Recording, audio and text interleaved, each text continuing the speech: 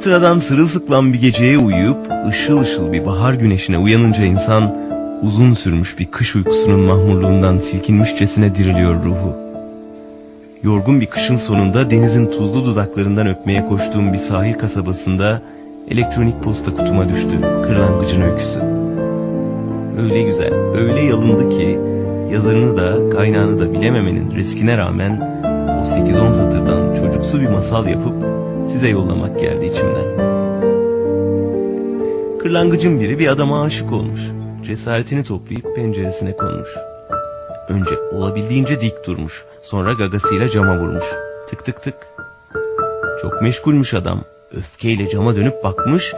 Kimmiş onu işinden alıkoyan? Kırlangıcın minik kalbinde amansız bir heyecan, kırık sözcükler dökülmüş gagasından. Hey adam, seni nicedir izliyorum.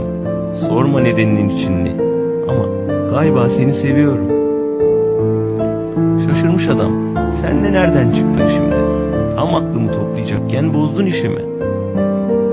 Şöyle bir tüylerini kabartmış kırlangıç ve aklındaki planı çıtlatmış. Aç pencereni beni içeri al sen. Birlikte yaşayalım ebediyen. Hem sofrada ortağın olurum hem evde eğlencen. Parlamış adam. Şuna da bakın neler diyor bu. Haddini bil. Hiç kuş insana aşık olur mu? Soğuklar başladı bak üşüyorum dışarıda. Alırsan içeri deva olurum yalnızlığına da. Hepten kızmış adam. Kovmuş kırlangıcı camın önünden. Yürü git işine. Yalnızlığımdan memnunum ben. Bükmüş gagasını zavallı kırlangıç. Uçmuş semaya doğru kanadı kırık. Gel zaman git zaman. Kırlangıcın hemen ardından bizim adamı pişmanlık basmış. Hay aptal kafam ben ne halt ettim. Ayağıma gelen fırsatı teptim. Sonra teselli etmiş yalnız kalbini. Sıcaklar başlayınca gelir kırlangıcım. Onu içeri alır, yalnızlığımı paylaşırım. Kış geçip de yaz gelince yalnız adam başlamış beklemeye.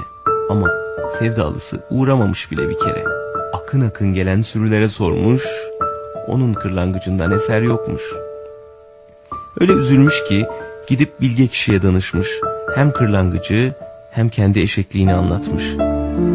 Bilge kişi almış adamın mesajını lakin üzüntüyle sallamış başını. A benim yalnız oğlum ne kadar efkarlansan azdır. Çünkü kırlangıçların ömrü en fazla altı aydır.